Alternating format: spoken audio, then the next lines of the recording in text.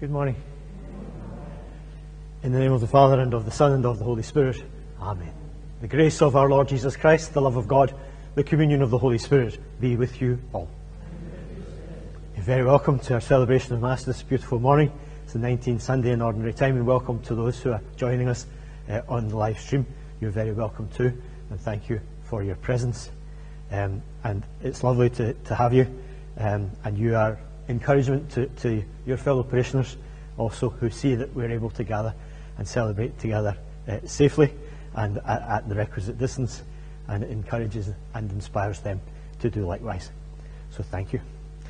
That we might uh, hear and heed the Word of God, which speaks to us about how God comes to us perhaps in ways that we do not always expect and in ways that perhaps are contrary to what we might have constructed the activity of God to be, is their theme for our, for our scripture readings, so that it might uh, educate us and encourage us, we pray, and that we might, in due course, receive the Eucharist uh, as food for our journey of discipleship worthily. We recognise our frailty and we ask pardon for our failures.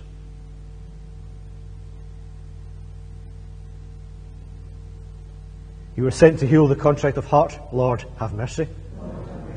You came to call sinners. Christ, have mercy. You are seated at the right hand of the Father to intercede for us. Lord, have mercy. May Almighty God have mercy on us, forgive us our sins, and bring us to everlasting life. Let us pray.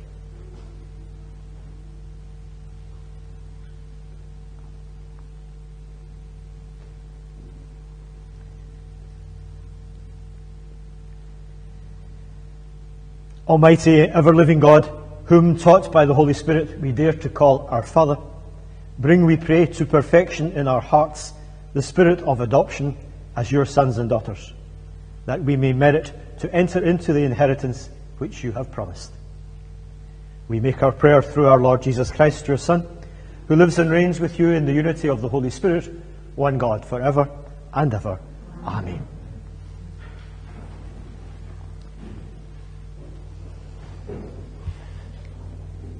First reading is a reading from the prophet Isaiah.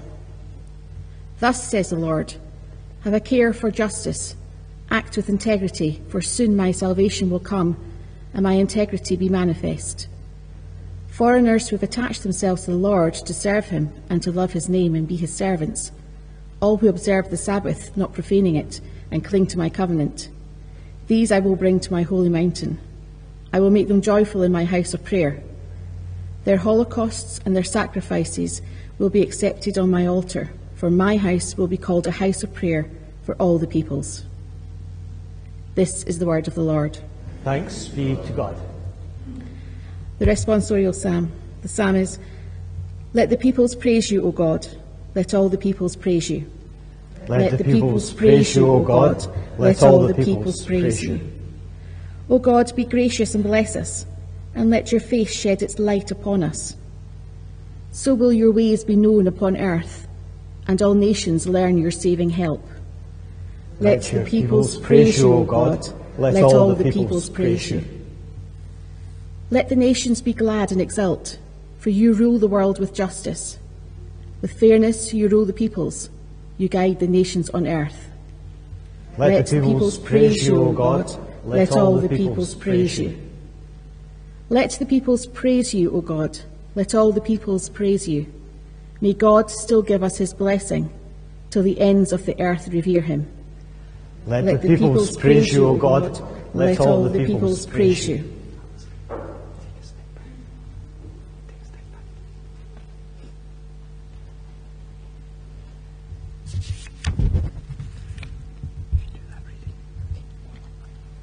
Second reading is a reading from the first book of the Kings.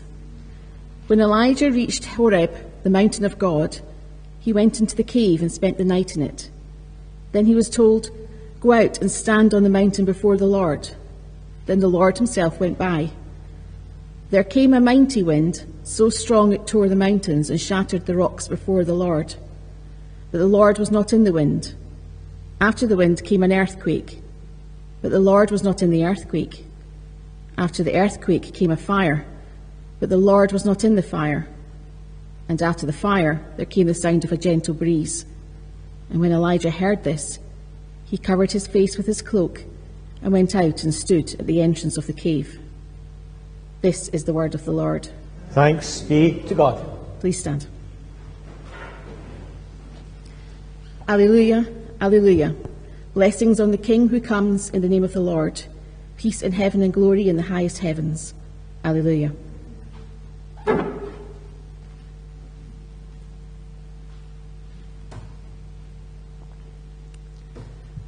The Lord be with you. A reading from the Holy Gospel according to Matthew. Glory to you, O Lord.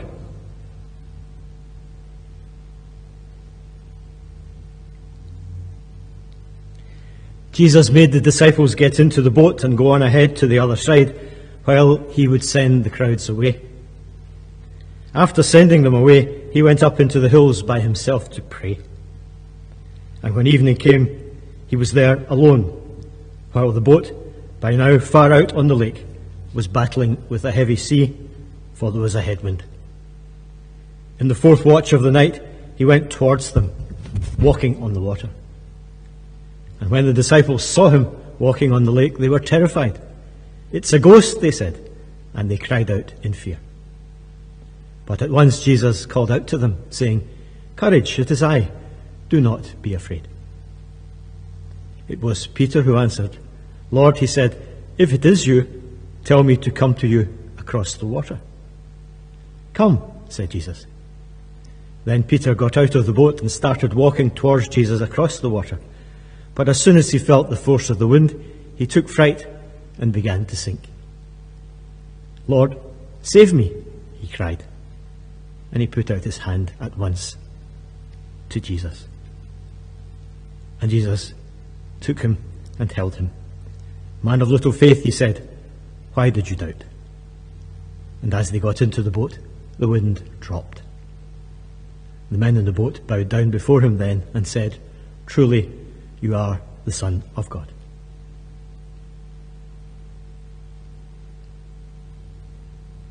The Gospel of the Lord. Praise to you, Lord Jesus Christ.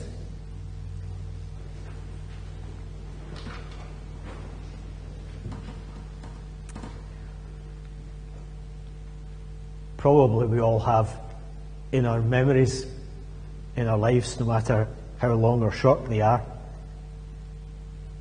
milestone moments that we look back on and we recognize that in doing something we were changed, perhaps in our outlook or our attitude as well as in our ability. I'm thinking about learning to swim. I'm thinking about um, learning to ride a bike without stabilizers. No, well, maybe I should just have kept mine on. Um, I'm, I'm, I'm thinking about uh, learning to scuba dive. And I remember all of those things. And I remember how, how I felt when I succeeded in doing them, how elated I was, and how I, I felt I had really achieved something, and how it changed how I saw myself and how I lived my life. When we do things in a hostile environment on top of the water, uh, defying gravity, as it were, on a bike, and under the water. They can be very frightening. There's that moment when first you begin to float and you panic and you sink again. And the next time you're supported to float, you remember. The first time you do a wobbly without stabilizers and then you get your balance and you're all right again. And the first time you're completely submerged in the water with some breathing apparatus, how a moment of panic ensues. And then, usually, with the calming presence of an instructor, or a parent, or a big brother, or sister, or a kind granny, or aunt or uncle, you get your confidence and you walk away from the experience a changed person.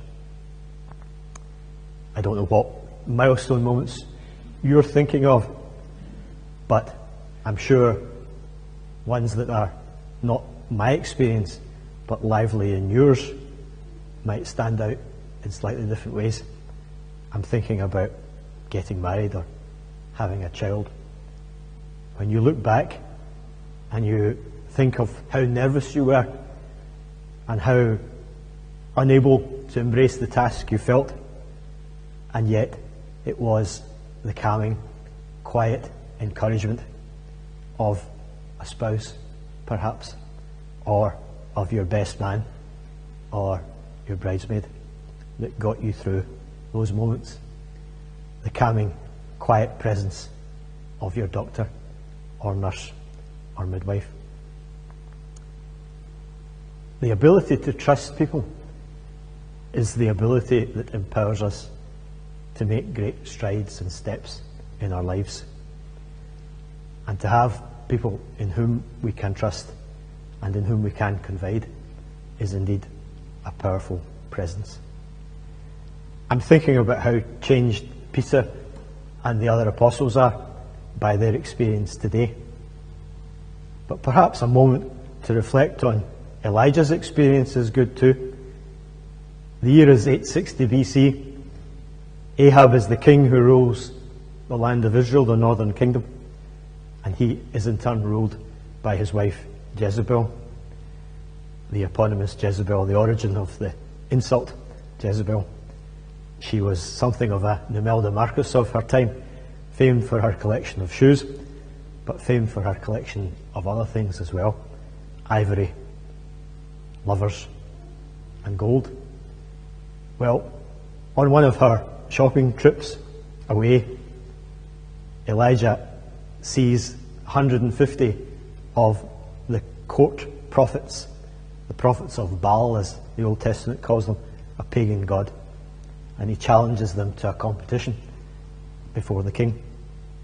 He says, Let's see whether it's the Lord God, the God of Israel, Isaac and Jacob, the God of the Old Testament, the God of the book of Genesis, who is God? Or is it this idol, this Baal? And the competition is one that Elijah stages in front of the king and his courtiers. He asks the prophets of Baal to go first, and they butcher an ox, they place it on an altar of wood, and they dance around it with their incantations and their forms of prayer, asking God to send fire to consume the offering. And they do so from dawn till dusk without success.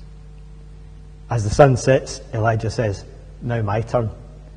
And he pours 50 gallons of water over the altar and the ox and says briefly, Lord God, send fire.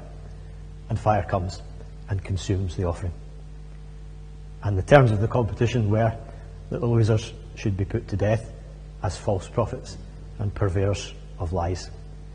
So the 150 prophets of Baal are put to death, and Jezebel returns to court to discover that that has happened. Sends word to Elijah that he will join them the following day when she has him executed. So he flees, he runs south, and he goes to Mount Sinai, where the people of Israel first encountered God. And he vaguely expected God to appear to him in the same way thunder, lightning, earthquake, and mighty wind. But none of those are the presence of God, but rather a still, small voice. And the disciples on the lake, well, they think that the power manifest in the storm is so strong that God must be at work but it's the quiet voice of Jesus calling to Peter to come to him out of the boat and across the water that reveals who Jesus really is. Sometimes more is achieved by the quiet word than by the grand gesture. And God, like us, knows that well. It's easy to pull the house down a lot more difficult to build it up again. Sometimes the ability to have the quiet conversation is helpful. It doesn't always work, of course, but sometimes it does. I wonder if the fact that God makes himself known to Elijah in a still small voice and makes his reassuring presence known to Peter with an invitation to come across the water to him when confusion and noise is all around, but it's the quiet encouragement of the Lord that reveals him to Peter and becomes for Peter a pivotal moment in his life because he learns to trust and in trusting learns a deal of himself and of what he's called to. If God makes himself known in a still small voice, I wonder if we too can make God known in the same way. The gentleness of the still small voice that contains the presence of God is a powerful encouragement to us, perhaps, that we, with very little, can still achieve much, just as God does when He speaks in a still, small, reassuring voice that encourages others to confide and to trust. For that gift received by us and so given by us for each other and ourselves, we pray today.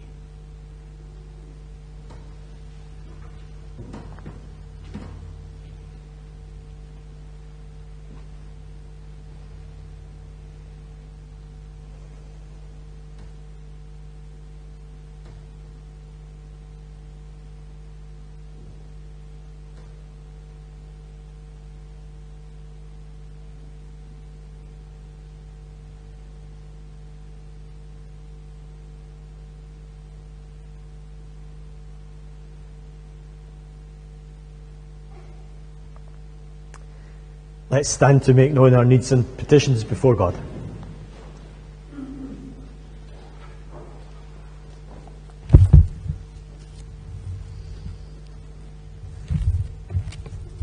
Grant that the Church may hear the call of her Lord and come to him in trust. May all Christian people keep their eyes fixed on him, knowing that they can do nothing without him, but in his power can do great things. Lord, hear us. Lord, graciously hear us. Correct those who, in the pride of authority, trust too much in their own strength. Give courage to the many in the world who are oppressed by fear of what seems to them strange or unknown. Lord, hear us. Lord, graciously hear us. When our daily work is hard, when our relationships become difficult, teach us to know where we must look for help. May we see Christ in the life around us and recognize him when he comes in unfamiliar and unexpected ways. Lord, hear us. Lord, graciously hear us. Have mercy on those who are battered by the strains of life and feel they are making no progress towards better things. Pardon and rescue all who have been drawn into forbidden occult ways and can no longer see their true God. Lord, hear us. Lord, graciously hear us. We give thanks to the departed, called by Christ to come to him. May those who have crossed the stormy sea of life feel the touch of his hand and find rest. Lord, hear us. Lord, graciously hear us. To these our general intercessions, we add prayer for our own particular and local needs. We remember those who have asked us to pray for them, especially those whom we know to be in particular need at this time. For the members of our parish community who are sick or housebound, also we pray, remembering in particular those who are housebound, and praying for those who receive Holy Communion from Mass this morning. We remember our children, our young people who will return to school this week, and we give thanks for those who have achieved much in their examinations despite very testing circumstances. We pray for ourselves the Lord will remind us that He speaks to us quietly, and it's easy for us not to hear Him when He does, and reminds us that we can speak quietly of God to encourage others. And finally, we pray for our dead. We remember those who have died recently, especially uh, Thomas McKinnon and Nan McCallum, and for those whose anniversaries occur about now, particularly those we've been asked to remember in prayer. That they may all know the presence of God. Lord, hear us. God our Father, you call us to be your people, and you call to us in a still small voice. Help us to hear you and to be as you are for others. Our prayer we make through Christ our Lord. Amen.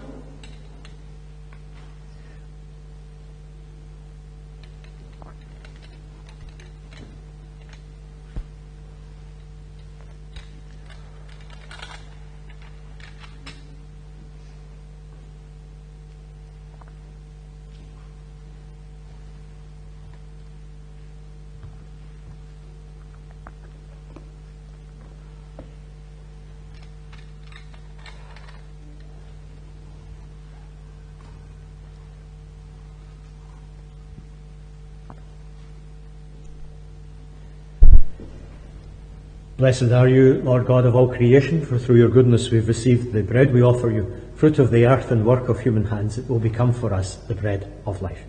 Blessed be God forever.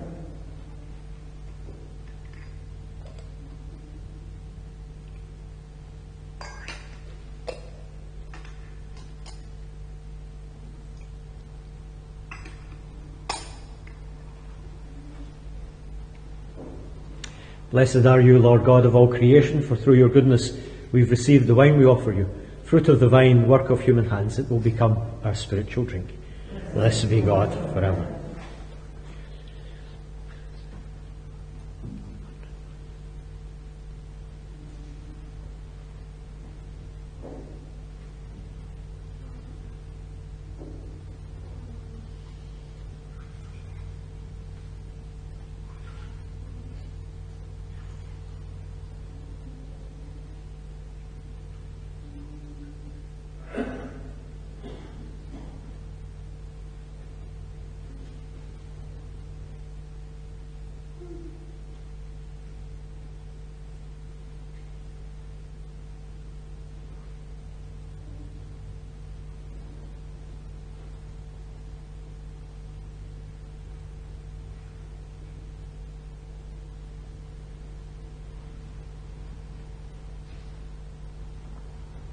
Let's stand and pray, my brothers and sisters, that my sacrifice and yours may be acceptable to God, the Almighty Father. May the Lord accept the sacrifice at our hands for the praise and glory of his name, for our good and the good of all this holy church. Be pleased, O Lord, to accept these offerings of your church, for in your mercy you have given them to be offered, and by your power you transform them into the mystery of our salvation. Our prayer we make through Christ our Lord. Amen. The Lord be with you.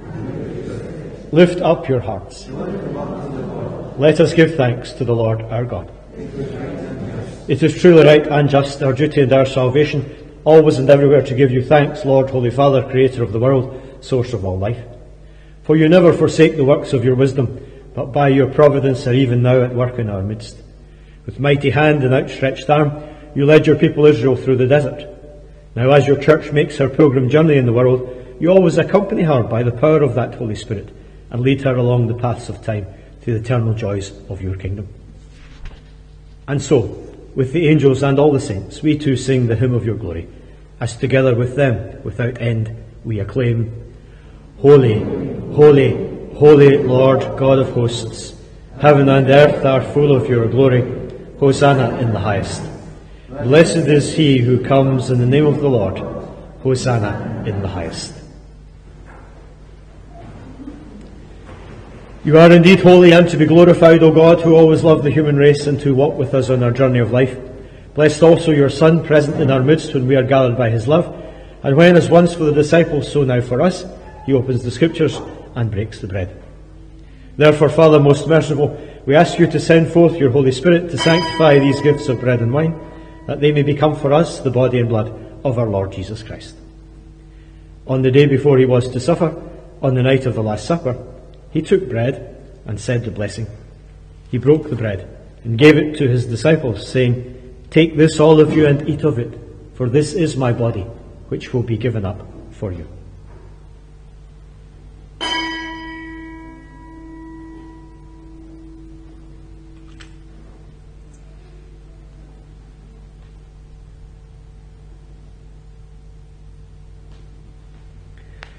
In a similar way, when supper was ended, he took the chalice, once more giving thanks, gave it to his disciples, saying, Take this, all of you, and drink from it, for this is the chalice of my blood, the blood of the new and eternal covenant, which will be poured out for you and for many for the forgiveness of sins. Do this in memory of me.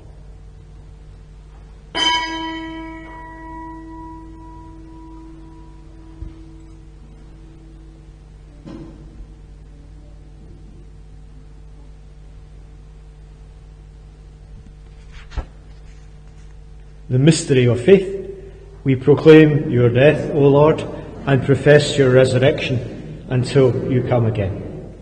Therefore, Father, as we celebrate the memorial of Christ your Son, our Saviour, whom you led through passion and death on the cross to the glory of the resurrection, and whom you have seated at your own right hand, we proclaim the work of your love until he comes again, and we offer you the bread of life and the cup of blessing.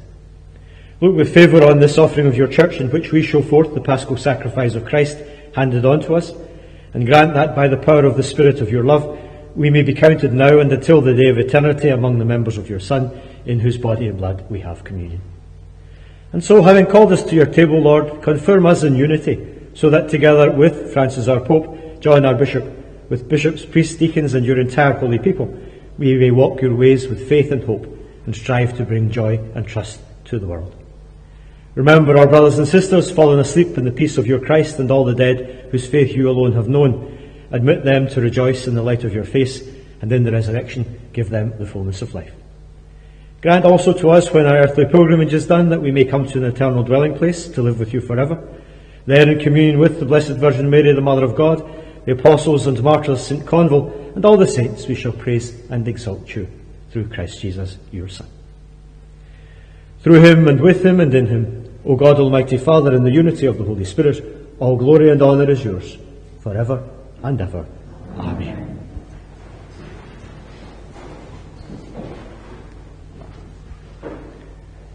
At our Saviour's command, formed by divine teaching, we dare to say, Our Father, who art in heaven, hallowed be thy name. Thy kingdom come. Thy will be done on earth as it is in heaven.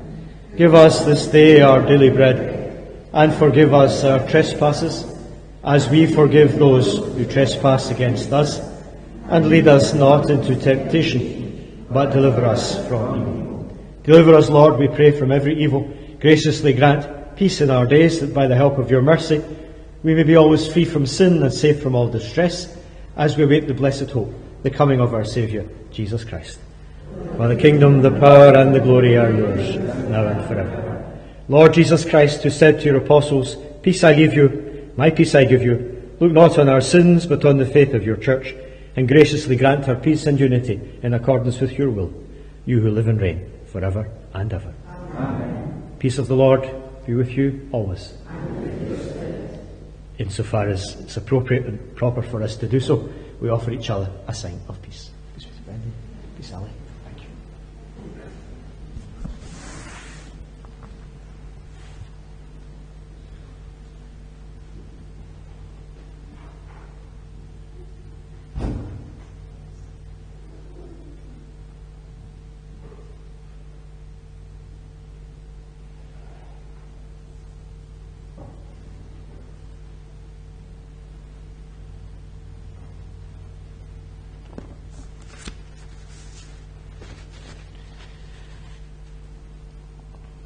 Lamb of God, you take away the sins of the world, have mercy on us.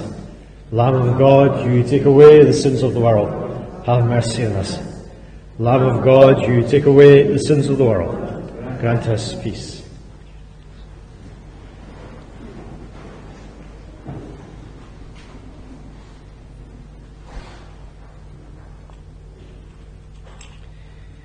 Behold the Lamb of God, behold him who takes away the sins of the world. Blessed are those called to the supper of the Lamb. Lord, I am not worthy that you should enter under my roof, but only say the word, and my soul shall be healed.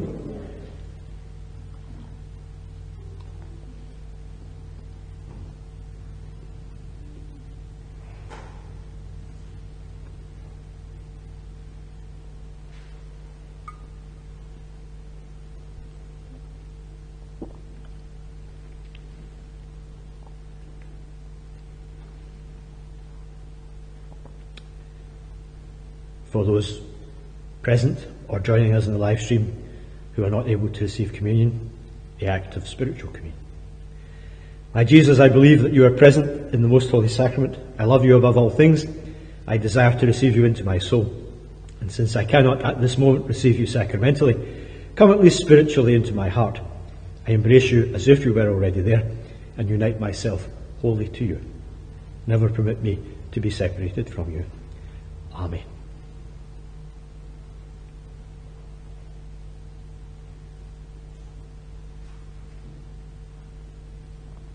For the reception of Holy Communion, I'd invite you to remain standing in your place. I'll come to you with Holy Communion, which at the moment is only in the form of bread and only to be received in the hand. When I give you communion, if you let me pass and then take your mask off, receive communion, and then make your prayers of thanksgiving. And may the body and blood of the Lord Jesus Christ bring us all to everlasting life. Amen.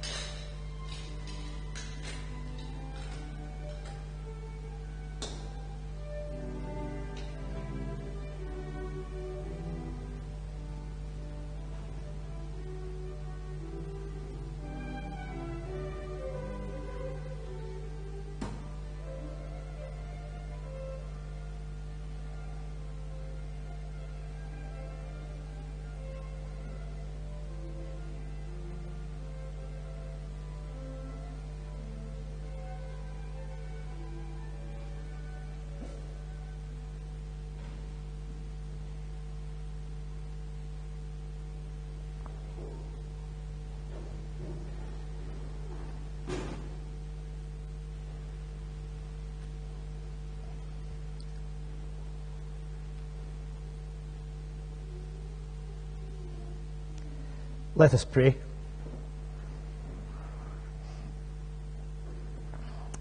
May communion in this holy sacrament which we have received save us, O Lord, and confirm us in the light of your truth. Our prayer we make through Christ our Lord. Amen. Our next uh, gathering here is for a Mass on Wednesday morning at 10 o'clock. I have two funerals. Uh, I'm afraid places are reserved for families uh, later in the week.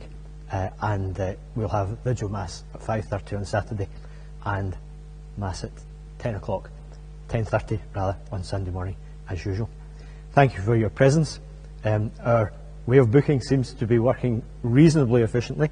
So places at, on our uh, on our um, link from seven days to 24 hours before, then places by phone from 24 to two hours before, and in each case you'll receive a confirmation email or telephone call. There was a slight hiccup through the week, not with us but with Mr. Google. Uh, I don't know what it was, but some data has disappeared and then reappeared again. So I hope uh, everyone that wanted to come got to come. Um, if not, I apologise and I hope that we'll get better at this as it goes along, although for the first few weeks we seem to get on just fine. So thank you for being here. Thank you for the encouragement it gives to me, to one another, and to other members of the parish community. I hope you have a lovely day and a good week too. All our details and all our plans and all our schedules are available, of course, not just in a bulletin that's at the porch on the way out and in the porch of the house, but also on our website and our Facebook. We ask God's blessing. The Lord be with you. May Almighty God bless you, the Father, the Son, and the Holy Spirit. Amen. Go and announce the gospel of the Lord. Thanks be to God.